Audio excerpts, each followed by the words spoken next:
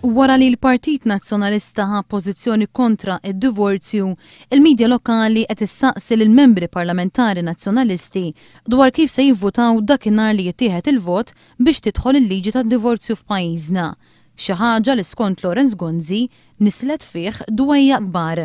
Irrid nesprimi d-dwejjaq kbar tiegħi ta' pressjoni li qed issir fuq deputati li qegħdin iffaċċjati b'waħda mill-iktar sitwazzjonijiet delikati li qatt tfaċċat f'din l-istituzzjoni parlamentari tagħna.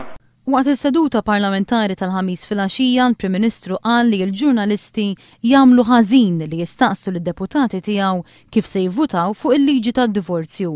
Qal li d-deputati tiegħu għandhom jieħdu din id-deċiżjoni b'serenità sħiħa. Jiena dal-pressjoni li qed issir fuq id-deputati għalija hija inġusta. Lawrence Gonzi qal li dan għadu biss il-bidu ta' proċess li se jwassal biex titwettaq ir-rieda tal-poplu. Waqt id-diskors tiegħu Lawrence Gonzi tkellem ukoll dwar dak kollu li għamel il-Gvern għall-familji Maltin u għat-tisħiħ tagħhom.